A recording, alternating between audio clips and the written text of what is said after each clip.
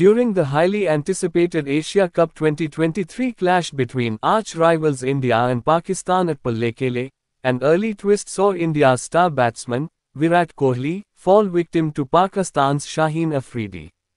Kohli managed to accumulate just four runs before being dismissed during the 6.2 overs.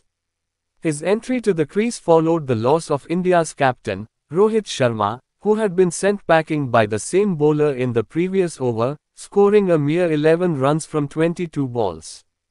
Kohli's dismissal occurred as he attempted to guide the ball through the offside while slightly opening the face of his bat, only to chop it back onto the stumps. His expression of disappointment conveyed his disbelief at the situation. Adding a touch of humor to the moment, Pakistani cricket legend Waqar Younis, while commentating on the match, quipped, You can review it as much as you like, Virat, but you are out.